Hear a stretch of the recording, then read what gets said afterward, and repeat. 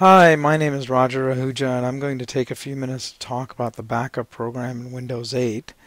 There are actually two different backup programs in Windows 8. The first one is the same as Windows 7. In Windows 7 it was called Backup and Restore. In Windows 8 it's called Windows 7 File Recovery. This program functions the same way Backup and Restore function in Windows 7. And we're going to start by looking at that.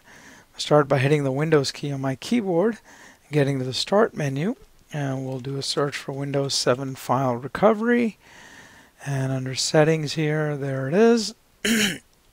now, the first time that you go in here, you're going to see um, something that says Setup Backup. I've already done this, so that's why we're coming to this screen.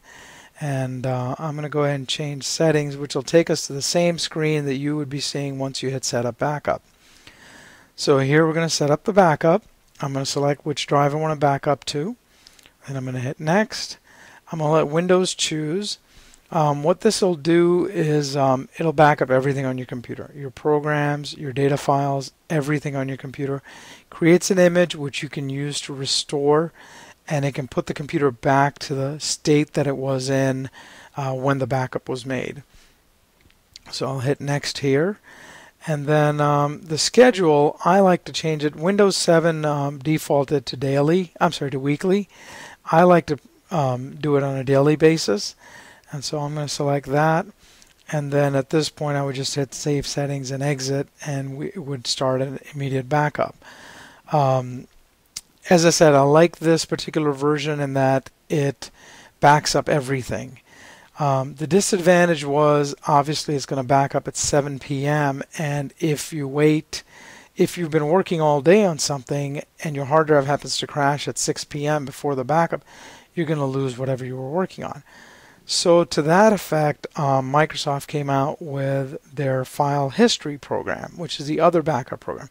So I'm going to cancel out of here, and we're going to close this, go back to our Start menu, and go to File History. And um, right here is File History. Now, File History all you have to do is select where it's going to back up to and hit turn on and it will basically make a backup um, of your data files. It's going to back up anything that's in a library and it's going to back it up on the fly. So it's very um, similar to Time Machine if any of you are familiar with the Apple product. Um, the um, it, it'll back up on the fly as it's going along so you could be working all day you won't lose any data. It's great in that respect. I feel it's lacking in that it doesn't create an image of the system as well. I think it would uh, uh, behoove Microsoft uh, to change this so that it creates an image of the system and backs up on the fly. And um, that's basically it. Those are the two different backup programs.